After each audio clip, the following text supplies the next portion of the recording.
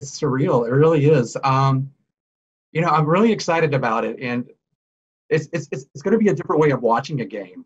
Um, you know, to watch a Super Bowl in person, you know, with two teams, you know, where I'm probably I like a team better than the other, you know, and the outcome, you know, is going to be, you know, whoever wins, whoever wins.